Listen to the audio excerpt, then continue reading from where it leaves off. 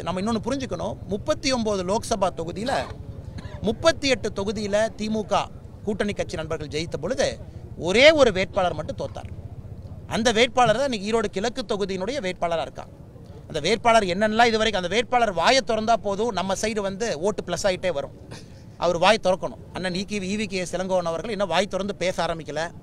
ஆனால் நம்முடைய பிரச்சார பீரிங்கி அண்ணன் ஈவிகே சிலங்கோவன் தான். அவர் அந்த பக்கம் பேச ஆரம்பிச்சாங்கன்னா மீட்டர் மாதிரி ஓட்டு வரும்.